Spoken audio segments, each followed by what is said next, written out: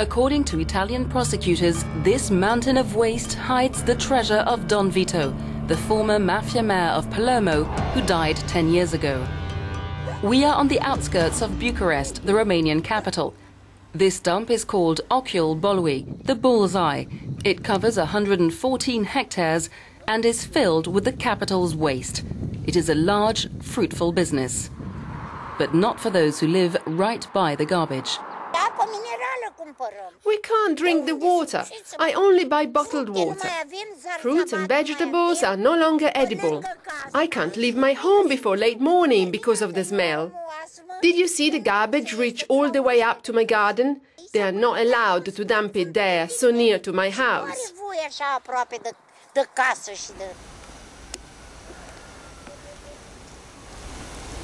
We decide to go and speak to local politicians in the nearby town of Popesti Leordeni. The regional councillor agrees to meet us and even to show us the contract with the company that operates the landfill site, Ecorec. It secured lease of the land for only $5,000 a month, a bargain according to him. Something around five or maybe six persons was really implicated in that business, and uh, they really have an, uh, an grow up of healthy of his uh, they healthy. How much, for example? Something around uh, million of euro. The Italian judiciary suspects Don Vito's son of laundering his father's money through this business. Ecorec is the subsidiary of another Romanian company, Agenda 21, run by two Italian entrepreneurs, the Pileri brothers. It's not possible to get in this uh, landfill. No, no, in no. an easy way. In an easy way, we have not access on that field. They If- if don't you let anyone get anyone, anyone. We decide to go directly to the landfill site to try and meet the manager, Viktor Dombrovski. Peace. Giornalista? Euronews. What do you want to, to I c- can I speak with the manager of the... you want to make a photo? I don't. But we can't call Viktor Dombrovski to have... I don't uh, have that phone. I tell you, really. you don't have the number. Write your name, uh, where you come from, uh, what do you want. Do you have the number of Viktor Dombrovski? No, Nobody has the number. no, I'm sorry. When do you, when did you see him the last time? The last year. Last year.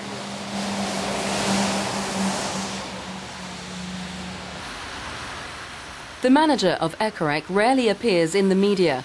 Few journalists have written about him. Tiberiu Lovin is one of them. Victor Dombrovski este un personaj foarte Victor Dombrovski is a very interesting person, yet very well hidden from the media. mass media, uh, un fost general CIE, He's a former general at the SIE, Romania's external intelligence service. O mulțime de So he worked for the Secret Service and has connections to very important people in Romania politicians, businessmen, media owners. care uh, în timp uh, și-a dezvoltat tot felul de afaceri, de plecând de la Over time, he developed all kinds of businesses, and this is how we get to the connection with the Pileri brothers. Și ajungem aici la legătura cu frații Pileri.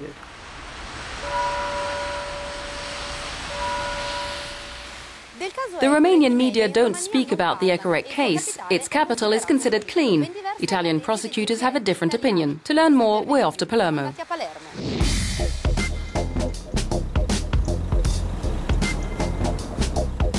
Palermo is home to Circo, a company Italian magistrates believe recycles the Ciancimino capital in Romania through another Romanian firm, Agenda 21. In turn, Agenda 21 owns a majority stake in Ecorec, which runs the landfill site near Bucharest. In 2005, the Italian judiciary seized all three companies. According to the prosecutor, the money invested in Romania is part of the fortune accumulated by Don Vito, the former mayor of Palermo, through mafia activity. His son Massimo, according to the court, is trying to hide the family fortune in Romania. Vito Ciancimino nasce come politico a Corleone, poi emerge come assessore. Vito Ciancimino came from Corleone. He was a city councillor in charge of public works in Palermo for 13 years under the famous Sack of Palermo administration, when the city's entire economic life depended on the building industry.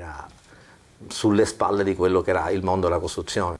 Those 300 million euros, which is the value of the landfill site, the largest in Europe, is that your treasure invested in Romania? Allora, le rispondo co- I'll answer right away. I've never been in Romania.